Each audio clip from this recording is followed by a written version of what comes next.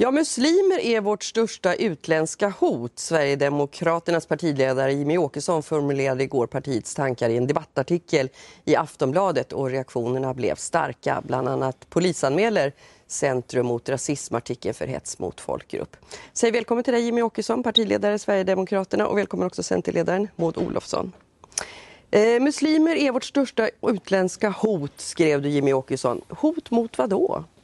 Jag skrev inte så där. Det var Aftonbladet som skrev det där och man tillskrev mig det som ett citat och ja, det stämmer inte. Meningen i hela artikeln Nej. var ju den. Det stämde väl, väl överens med innehållet? Nej, det, det är det den inte gör och det är det som har lett hela, in hela den här debatten på fel spår. Det, det jag vill påpeka i artikeln är att det svenska samhället successivt håller på att anpassa sig efter islam. Är det hotfullt på något sätt? Det är ju ett, ett allvarligt hot menar jag, framförallt på lång sikt. I takt med att den muslimska gruppen växer så, så blir det ett, ett, ett hot mot det svenska samhället. Mm, men, men hot, på vilket sätt hotar det? Vi ser ju en, en muslimsk grupp som, som de senaste 30-40 åren har växt väldigt kraftigt. Från att på 60-talet har varit kanske ett tusental muslimer i Sverige till att idag omfatta en halv miljon människor. Det är en väldigt snabb utveckling.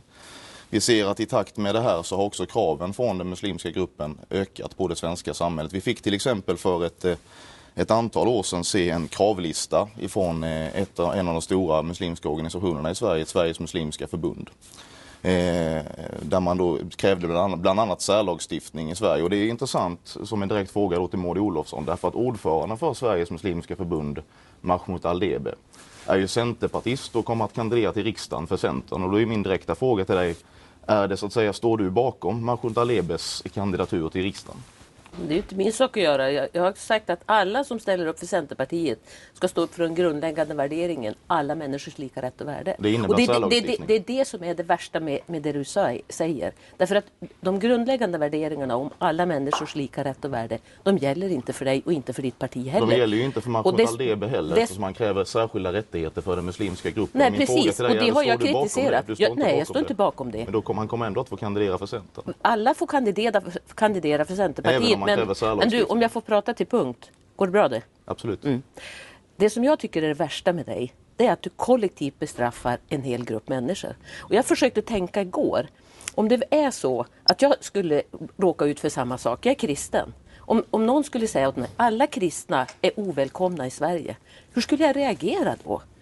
Alltså jag har ingen möjlighet att försvara mig. Jag har ingen möjlighet att överhuvudtaget argumentera därför att du har kollektivt bestraffat en hel grupp. Det och det sagt. tycker jag är det, det, är det absolut värsta. Om man inte ställer upp på de grundläggande värderingarna om alla människors lika rätt och värde, då har man ju någon helt annan grundsyn. Och det är det vi ska diskutera. Varför gör du inte det? Fast, fast jag står upp för alla människors lika värde. Det, Nej, jag, det, det, det jag diskuterar men, men i den här artikeln, alltså... jag måste bara få bemöta det. Det jag diskuterar i den här artikeln det är det svenska samhällets anpassning till muslimska krav. Inte huruvida muslimer är lika mycket värda eller huruvida muslimer ska få lov att vara ja, men, muslimer ja, eller inte. Alla då, har du, då har du bara läst rubriken som Aftonbladet Nej. har satt. Då har du inte läst artikeln. Jag har läst hela artikeln. Och det som är det värsta är att du, ni säger alla muslimer. Och jag, har Nej, läst, jag, har läst, jag har läst tar den på, som är på er stämma. Och det ni gör är ju, ni försöker bara skrämma med att det är människor som är annorlunda som kommer hit. Och de kommer att ta er kultur ifrån er. Ni kommer inte få ert språk och ni kommer inte få era traditioner. Det enda ni gör är ju att ni skräms. Och, och min fråga är så här, ja men när, när är utgångspunkten för svensk kultur? När börjar det? Vad är det? Det, det, vi ser idag, som jag sa, det är en successiv anpassning till den muslimska minoritetens krav på det svenska samhället. Man har på förskolor i Malmö slutat servera fläskkött. Vi får inte längre sjunga kristna psalmer i samband med skolavslutningar, till exempel Den blomstertid nu kommer. Svenska skolelever förvägras att fira skolavslutningar i kyrkan därför att det kränker den muslimska minoriteten. Vi ser könssegregerad simundervisning på kommunala badhus därför att Men, muslimer Jimmy... anser att, att flickor och pojkar ska inte bada tillsammans. Men Jimmy Åkesson, och så vidare, och du har ju blivit emotsagd på väldigt många av de här punkterna där man säger att du har ingen grund för vad du säger. Jag sjöng till exempel Den blomstertid du kommer på den senaste skolavslutningen. Men när du drar alla muslimer över en kam, är svårt att uppfatta din, din artikel på ett annat sätt.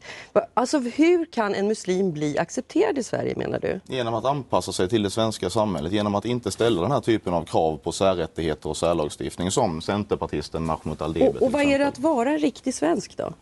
Att vara riktigt svensk är ju för det första att man har en övervägande svensk identitet, att man anpassar, att man anpassar sig till svenska normer och värderingar, att man anpassar sig till svenska lagar och att man försöker förstå sig på det svenska kodsystemet och så vidare. Mm. Men, men jag tror så här Jimmy, alltså om man har en stark eh, rota starka rötter i den egna kulturen och traditionen, då behöver man inte vara orolig för andras kultur och tradition. Och, och Problemet det, är att ja, ni försöker för, prata till punkt. oss låt, det. Låt, nej. Det, det som jag tror är viktigt att säga är att det finns ingen startpunkt för när den svenska kulturen fanns. Utan det här är en utveckling där människor reser över gränser, möter varandra och det blir nya och, och bra traditioner.